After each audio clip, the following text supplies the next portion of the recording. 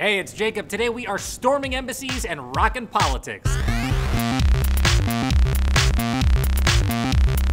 2014 gonna be tasty, y'all. This is YouTube Nation. Today we've got an extra special guest to introduce an extra special video. Mystery Guitar Man, You've heard of the Gregory Brothers? the dudes behind the Bed Intruder song. They just did it again. They take legit news footage, auto-tune the voices, and add a backing track. They do it so well that they even make Bill O'Reilly fun. Young people wanna get high. Young people wanna get blasted. Young people combine the drugs with the internet.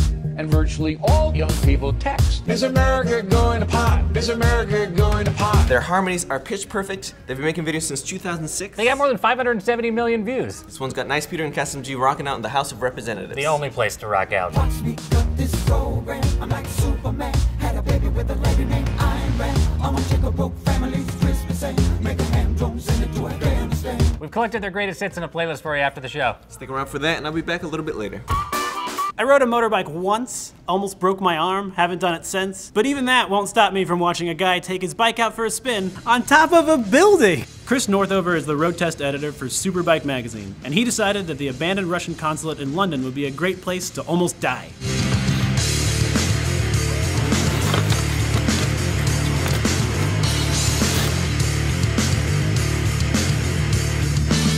Video's been all over my feeds today, and it's made me want to try motorbiking again. No, that's a lie.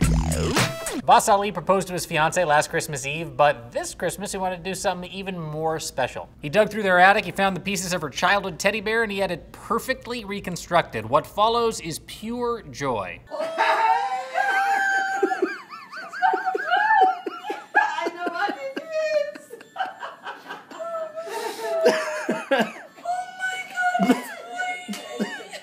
This video is all over the place right now. What's the greatest present that you've ever gotten? Let us know in the comments. Mine's an electric leaf blower. I don't know, my wife gave it to me and I like to blow leaves.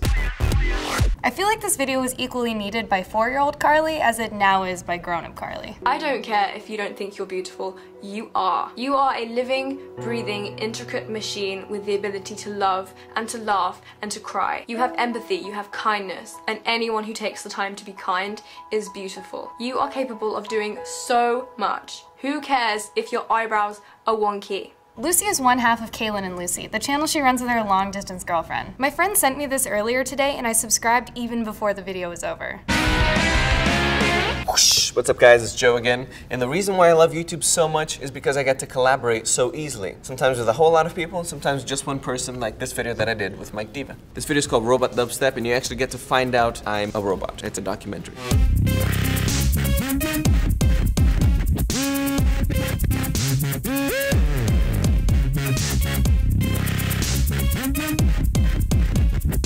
Sometimes I do even bigger collaborations like this video that I did called Worldwide Scavenger Hunt. I asked you guys to hide over 3,000 stickers in 200 different countries. People would find crazy places to put the stickers up. I'm doing another big collaboration right now and it's called Mass Beatbox. All you gotta do is make a video of yourself beatboxing, upload it to YouTube with the hashtag MassBeatbox. And I'm gonna edit it all into one big epic video. Right now we have a couple hundred submissions, but you only have two days left. We've been asking you guys to tell us what to put into the show, and Marius Etienne hit us up on Facebook to turn us on to his electro swing moves.